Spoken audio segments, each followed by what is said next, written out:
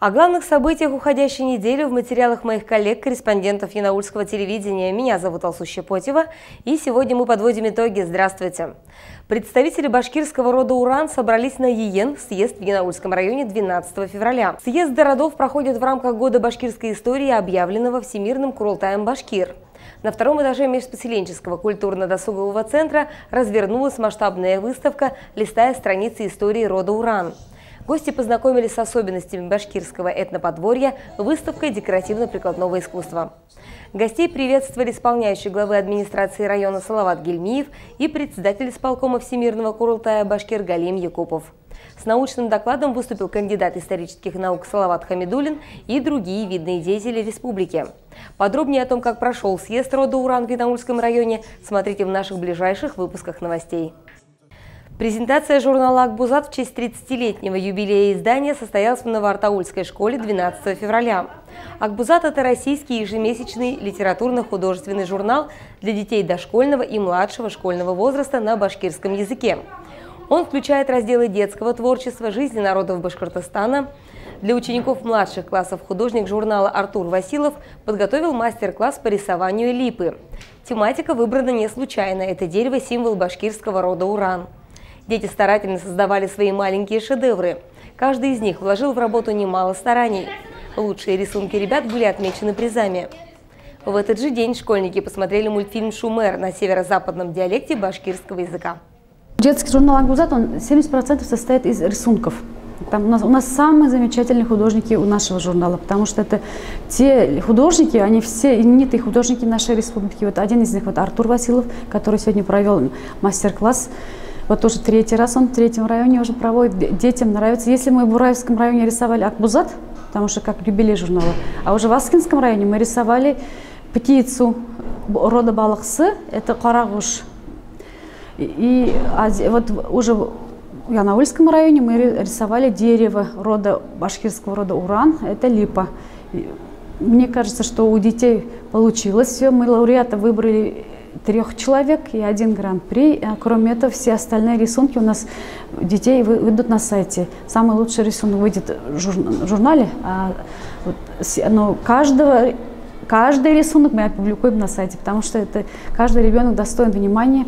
Мы им приготовили красивые подарки. Вот на, на гран-при дали планшет с башкирскими шрифтами. Там ребенок может сам самостоятельно научиться. Там башкирские песни есть, башкирские сказки послушает и может самостоятельно изучать литературный башкирский язык. Сейчас каждую неделю мы вот так будем по районам ездить и презентовать наш журнал. Это для того, чтобы у нас закрепилось вот живое общение с детьми во-первых. Потому что то, что делает журнал, это, можно сказать, даже 25% той работы, как, с которой, как мы должны работать с детьми.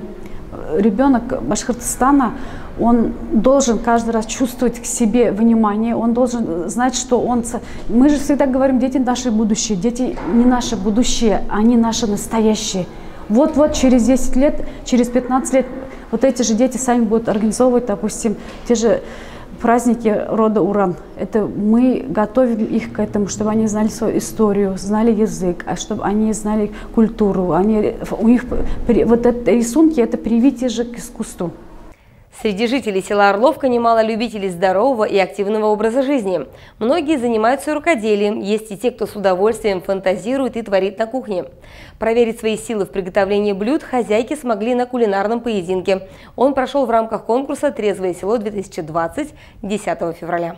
Будем готовить ребрышки, запеченные с соусом в этот день участвовали две представительницы прекрасного пола – Резида Уткина и Светлана Пензина. Разнообразные блюда хозяйки готовят уже многие годы, но признаются, что для них это по-прежнему приятное и увлекательное занятие. Для участия в конкурсе выбрали свои самые любимые и проверенные временем рецепты. В течение нескольких часов работа на кухне кипела. Участницы готовили солянку, горошницу с овощами, запеченные ребрышки, салат бишбармак и фруктовый фреш. Сегодня для нас праздник.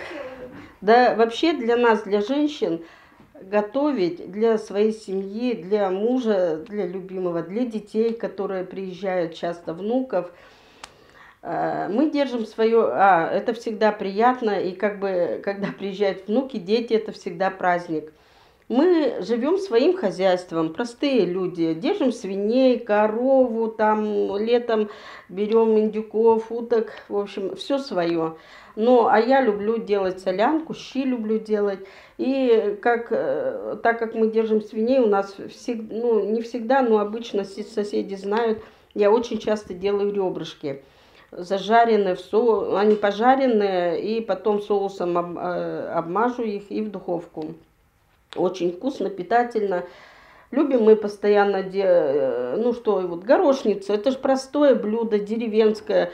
Почти в каждой семье делают, мне кажется, горошницу. Соревнования такого рода в поселении проводятся впервые, но, как планируют организаторы состязания, кулинарные поединки станут доброй традицией и привлекут большое количество участников. Проведение подобных мероприятий – это не только отличная возможность показать свои таланты узнать новые рецепты, но и поделиться с молодым поколением традициями местной кухни. На, сегодня наши две представительницы прекрасного пола, это Уткина Резида Адисовна и Пензина Светлана Владимировна, решили провести кулинарный поединок. Они для себя уже решили, что они будут готовить. Готовили они сегодня с любовью. Это ребрышки запеченные. Также они нам продемонстрировали свое кулинарное волшебство. Гороховая каша с овощами. Также были приготовлены наши всеми любимые бешбармак и разные стрепня.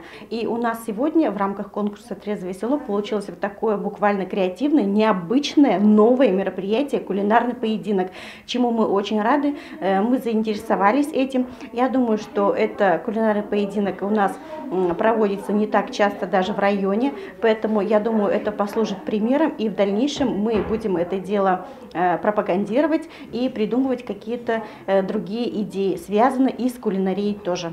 Завершился конкурс дегустации блюд. Главным судьей соревнования выступила глава поселения Любовь Шамшурина. Она оценила кулинарные способности участницы оформления блюд. Отметила, что все было выполнено очень вкусно, красиво и с душой. Гуляра Сиддикова, Аяс Хабибулин, служба новостей Янаульского телевидения. Общее число пациентов с подтвержденным коронавирусом с начала пандемии в нашей стране более 4 миллионов 42 тысяч жителей. В Башкортостане их число 26 214 человек.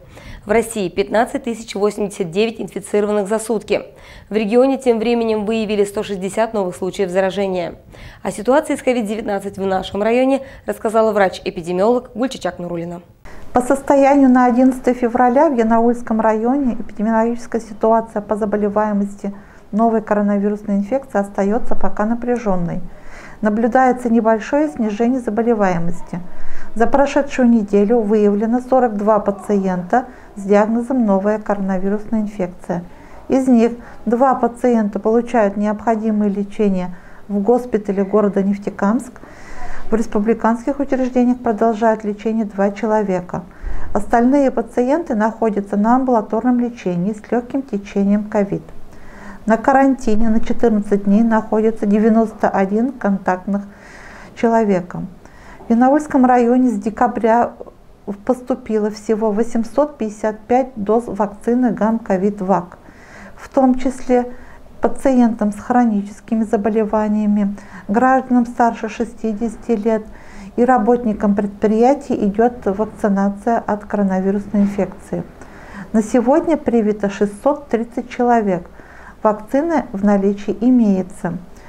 Поэтому желающим привиться небольшое объявление. В выходные дни 13 и 14 февраля прививочный кабинет 117 тоже будет работать. Приходите и провакцинируйтесь. Записаться на вакцинацию можно через госуслуги или по телефону 2 10 12. Но пока заболеваемость в районе регистрируется и есть риск все-таки заболеть. И поэтому рекомендуем соблюдать меры профилактики новой коронавирусной инфекции, носить маски и соблюдать социальную дистанцию. Будьте здоровы! Модуль «Здоровая улыбка» республиканского образовательного проекта «Взлетай» предполагает создание стоматологических кабинетов, оснащенных современным оборудованием во всех крупных школах республики, где численность детей превышает 800 человек. В прошлом году в гимназии имени Ирика Муксинова открылся современный кабинет стоматологической помощи. Теперь дети смогут получить качественную профессиональную медицинскую помощь по месту учебы. Зубной врач Светлана Тимиряева работает в гимназии с 2007 года. За 14 лет работы в кабинете заметно обновилось оборудование. Стало светло и уютно. Сейчас он оснащен новой стоматологической установкой. Есть аппарат для чистки и смазки стоматологических наконечников, сухожировой шкаф, паровой стиляризатор. Все гимназисты проходят профилактические осмотры и получают необходимое лечение по показаниям. Кроме городских детей, своевременную помощь могут получить и сельские ребята со всего Янаульского района. Они будут посещать школьного стоматолога по графику. У нас на сегодняшний день 1037 учащихся, из которых 589 мы осмотрели с начала учебного года, с сентября. Э, нуждались и 149 детей, и санированы 149 детей. Также проводим беседы с учащимися, профилактические мероприятия. Выявляем детей, которые нуждаются в ортодонтическом лечении. Они на сегодняшний день есть. Направляем на консультации. Сейчас у нас больше заболевания, потому что это у нас питание, гигиена страдает у детей. Первый день мы, например, детей вот с класса по 30 детей их бывает, берем мы их, осматриваем. На следующий день мы их вызываем, кто нуждается в лечении. Презентация нового социального проекта «Радость жизни» состоялась в детской школе искусств в понедельник, 8 февраля. В этот день в зале собрались самые активные жительницы Янаульского района. Подробности далее в сюжете. Администрации Янаульского района и лично от заместителя главы администрации по социальным вопросам Миньяровой Гулбары Исавиевны разрешите передать вам слова приветствия и пожелания яркой, активной работы сегодняшнего дня. Ведущий специалист отдела социальной, молодежной политики и спорта администрации района Марина Соснина поздравила участниц проекта с началом новой, интересной и насыщенной жизни. Новый проект «Радуга жизни» пятый по счету реализуемый в нашем районе благодаря стараниям Совета женщин Янаульского района. Большой вклад общественной организации высоко оценили и на федеральном уровне. В этот день председатель Совета женщин района Ильсияр Проскурякова была награждена памятной медалью дочерям Отечества Совета женщин Российской Федерации. 2020 год был ознаменован 30-летием Союза женщин России и столетием женского движения Башкортостана. Об итогах работы Совета женщин района и успехах, достигнутых в минувшем году, рассказала его председатель Ильсияр Проскурякова. В этот день она отметила почетными грамотами председателей женсоветов, членов президиума и волонтеров. Почетной грамотой Союза Союза женщин России была награждена. Председатель Женсовета Ижболдинского сельского поселения Шайкулова Филера Ясавиевна. Почетными грамотами Союза женщин Республики Башкортостан были отмечены. Председатель Женсовета Новоторского сельского поселения Аминева Гульсина Гариповна. Член президиума, заместитель председателя Совета женщин Янаульского района Белова Вероника Владимировна, член президиума Совета женщин Янаульского района Байтимирова Валентина Валентиновна, председатель женсовета Байгузинского сельского поселения Ибрагимова Глюза Загировна, член президиума Муллаярова Эльвира Гакульяновна, волонтер Валиева Ивсияр Агляевна, член президиума Казиахметова Лилия Рамилевна. Новый проект стартовал в первых числах февраля, а уже на этой неделе для участниц начнутся первые занятия. Желающих вести активный образ жизни и дружить со спортом в этот день было немало. В программе занятий комплекс адаптивной физической культуры и лечебно-оздоровительная гимнастика, скандинавская ходьба, аквафитнес, курс лекций и практических занятий с участием врачей узких специальностей, психолога. В этот день перед гостями выступила врач-гериатр Алевтина Чебан, невролог Юлия Потеряева, педагог-психолог Рушинья Габдрахманова. Они рассказали о том, как укрепить свое здоровье, противостоять коронавирусной инфекции и быть в хорошем расположении духа. Праздник продолжили художественные номера. Кроме того, все желающие смогли посетить импровизированную книжную выставку. В рамках Всемирного дня безопасности интернета Управление Федеральной службы судебных приставов по Республике Башкортостан проводит информационную акцию. Ее главная цель – повышение правовой и финансовой грамотности граждан. Как отмечают сотрудники Инаульского межрайонного отделения судебных приставов, в настоящее время по-прежнему действует режим ограничения по личному приему. Поэтому они рекомендуют по возможности использовать телефонную и электронную связь для обращения к сотрудникам службы. Управление Федеральной службы судебных приставов России по Республике Башкортостан напоминает, что получение достоверных сведений об исполнительных производствах, находящихся на исполнении, возможно только путем использования официальных источников. Это банк данных исполнительных производств. В первую очередь это сервис банк данных исполнительных производств, доступный всем жителям республики на интернет-сайте УФССП России по республике Башкортостан. Для получения информации о наличии исполнительного производства в отношении себя достаточно зайти на сайт ведомства, найти в центре страницы поисковую строку «Узнай о своих долгах», набрать в окне поиска свои фамилию, имя, отчество и дату рождения. Далее идет приложение ФССП. В целях повышения доступности граждан сервису банк данных исполнительных производств несколько лет назад было разработано и успешно действует бесплатное мобильное приложение ФССП, которое можно найти и бесплатно скачать в магазинах приложений Google Play, App Store на айфонах, Microsoft Store, набрав в поиске ФССП. Он еще и представляет подписку, которую граждане могут самостоятельно контролировать свой долговой статус. Способы оплаты. Любую имеющуюся задолженность можно оплатить онлайн, но в таком случае в целях предотвращения, предотвращения мошеннических действий рекомендуется гражданам и представителям юридических лиц погашать долги только способами и методами, указанными на официальном сайте нашего ведомства. В частности, оплату произвести с помощью сервиса «Единый портал государственных услуг». Для тех граждан, кто не пользуется онлайн-платежами, имеется возможность погашения задолженности в кредитных организациях, куда можно обратиться с готовой квитанцией, предварительно распечатанной в сервисе банк данных исполнительных производств. Для оперативного взаимодействия граждан, юридических лиц сотрудниками органов принудительного исполнения – в управлении организована работа Центра информирования по телефону 272 16 46. Сотрудники службы проводят консультирование как взыскателей, так и должников и оказывают квалифицированную юридическую помощь. Обращаем внимание граждан, что рассылка электронных сообщений на адреса электронной почты службы судебных приставов не осуществляется. Информирование граждан осуществляется только следующими способами. Во время личного визита судебного пристава письменными уведомлениями, направляемыми по почте, посредством телефонного автообзвона, звонки с которого осуществляются в рамках исполнительных производств имущественного характера, где должниками являются жители республики. Уведомления о задолженности из мобильного приложения ФССП, которое граждане могут сами установить на своем мобильном устройстве. Всероссийская перепись населения пройдет в новые сроки в сентябре 2021 года. Правительство Российской Федерации приняло такое решение с целью не помешать текущему улучшению эпидемиологической ситуации в стране и гарантировать безопасность всех участников. Подробнее об условиях переписи населения рассказала уполномоченная по вопросам переписи в Янаульском районе Резида Парыгина.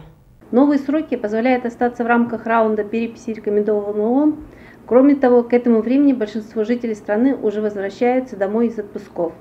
Всероссийская перепись населения впервые пройдет в цифровом формате. Главным нововведением станет возможность самостоятельно заполнить электронный переписной лист на портале госуслуги. При обходе жилых помещений переписчики будут использовать планшеты со специальным программным оборудованием. Также пройти перепись можно будет на переписных участках, в том числе в помещениях многофункциональных центров оказания государственных и муниципальных услуг. И это, пожалуй, все главные события уходящей недели. Берегите себя, оставайтесь с нами. Встретимся сразу после выходных.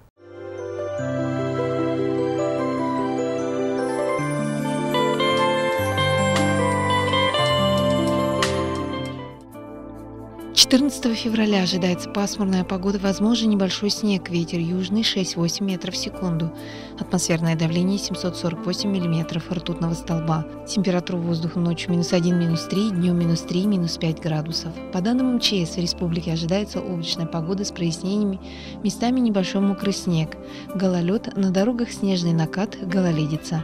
Ветер южный с переходом на западный 7-12 метров в секунду, в отдельных районах порывы до 17 метров в секунду. Температура воздуха ночью и днем от 0 до минус 5 градусов.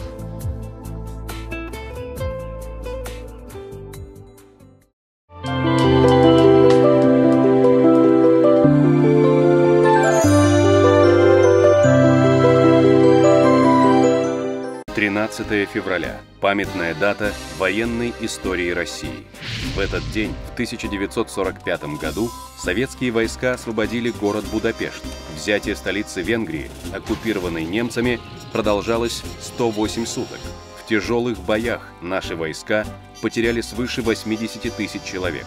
Советский солдат принес венграм свободу, и на груди его светилась медаль за город Будапешт. 15 февраля. Памятная дата России. День памяти о россиянах, исполнявших служебный долг за пределами Отечества. Дата установлена в память о почти 14 тысячах советских солдат и офицеров, не вернувшихся с афганской войны. Ограниченный контингент вооруженных сил СССР присутствовал на территории Афганистана с 1979 года. 15 февраля 1989 года советские войска, с честью выполнившие свой долг, были окончательно выведены из Афганистана.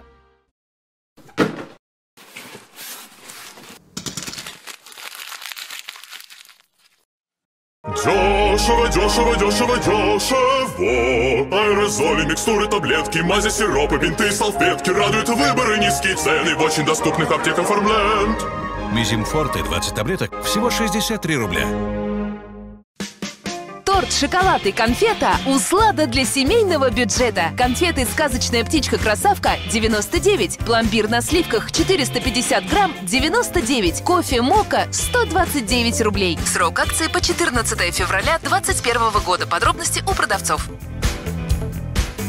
Дешево, дешево, дешево, дешево Аэрозоли, микстуры, таблетки, мази, сиропы, бинты, салфетки Радуют выборы, низкие цены в очень доступных аптеках Фармленд Орбидол Максимум 10 капсул всего 499 рублей.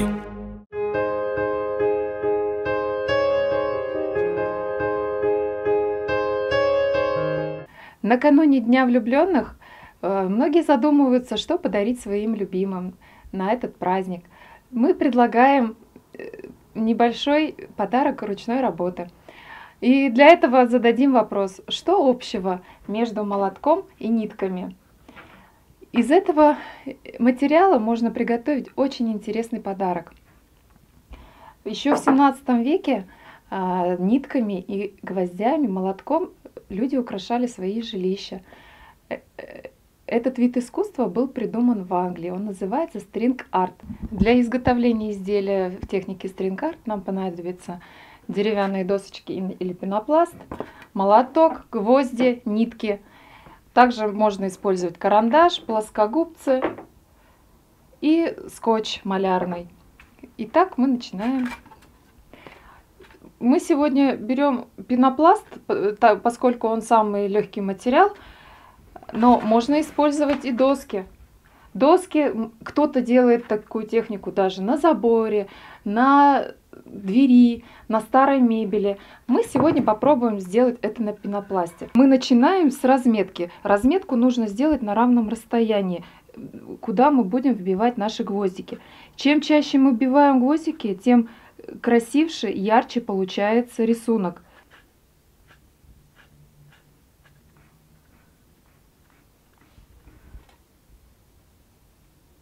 Точка это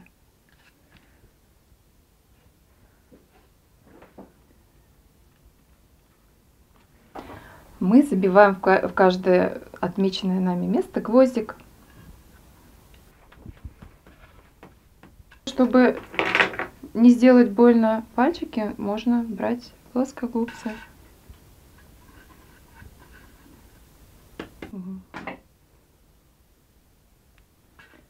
Если вы приобретаете гвозди в хозяйственном магазине, их нужно вытирать салфеточкой, чтобы они не портили вашу нитку и вашу работу, чтобы ваша работа не поменяла цвет.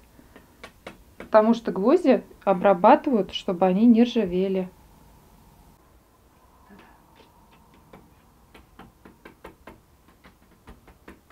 Теперь наши гвоздики мы будем обвивать ниточками. Ниточки подойдут ХБ, например, мулине или же ирис.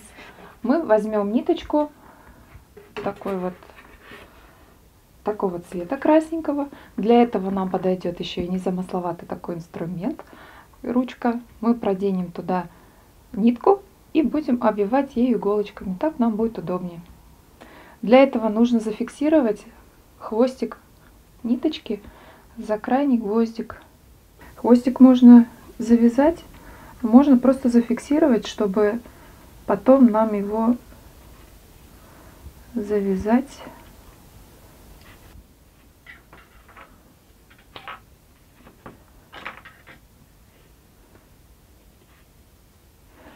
Ниточку мы не, туго не затягиваем, чтобы она не ломала изделие, чтобы не гнулись гвоздики и чтобы не рвалась нитка. Для этого туго не затягиваем. Начинаем с серединки и закрепляем за каждый гвоздик.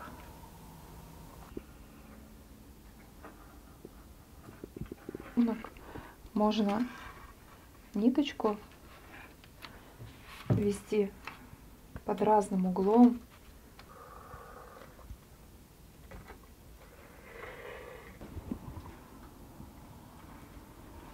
Можем добавить гвоздики в середину, добавить маленькое сердце, э, направление нити сделать по кругу. И у нас внутри, получается, останется еще одно сердечко. Можно задать ниточке любой рисунок, любое направление. От этого будет зависеть, какой результат вы хотите получить. Наше сердце готово. Можно повесить его как декор, а можно подарить как подарок. С Днем Святого Валентина всех!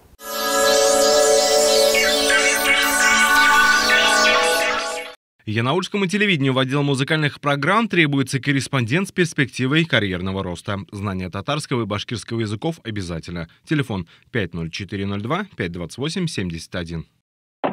Дети берут пример со взрослых и все повторяют за вами.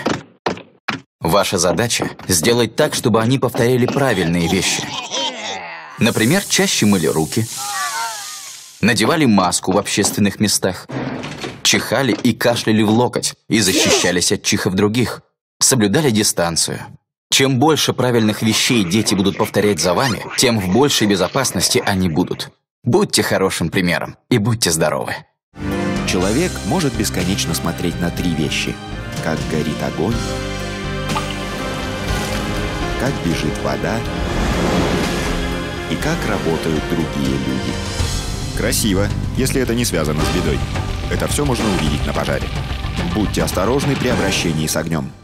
При пожаре звоните в единую службу спасения по телефону 01. Мобильная связь 112. Давай, шеф.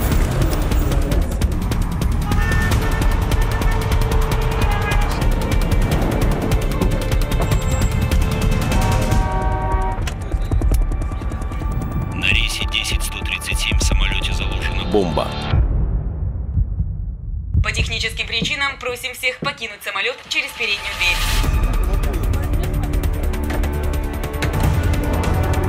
Пробей вот этот телефон.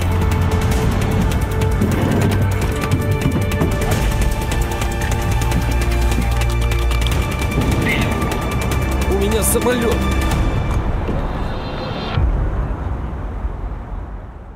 13 февраля. Памятная дата военной истории России.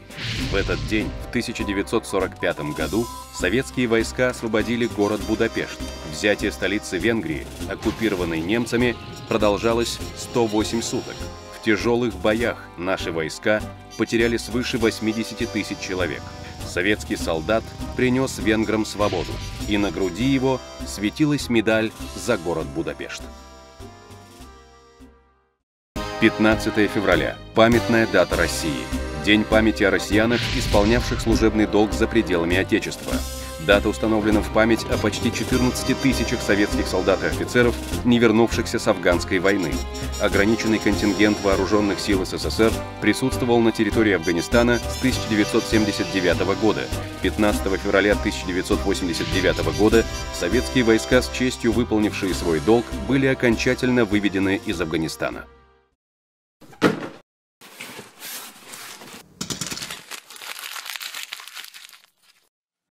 Дешево, дешево, дешево, дешево Аэрозоли, микстуры, таблетки, мази, сиропы, бинты, салфетки. Радуют выборы, низкие цены В очень доступных аптеках Фармленд. Кардиомагнил 75 мг, 100 таблеток всего за 175 рублей.